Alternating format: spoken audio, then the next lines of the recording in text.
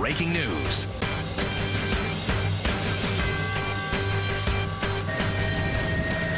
Good afternoon. This is Dan Rice live in Chopper 2 over the Bronx Jacobi Medical Center. We're at around 12:30 this afternoon. There was a shooting outside or uh, in the area of the emergency room of Jacobi Medical Center. Now, what we can tell you is one male has been shot in the arm. That person immediately taken into the operating room. They have one suspect they are looking for at this time. That suspect uh, was has fled the scene on foot.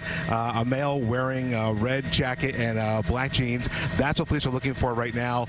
No word yet on why there was a shooting and if the person who was shot uh, was an employee of the hospital or was uh, someone who was targeted outside of the hospital itself. But we can tell you, though, a large police presence here. That person who was shot, that person does have non-life-threatening injuries.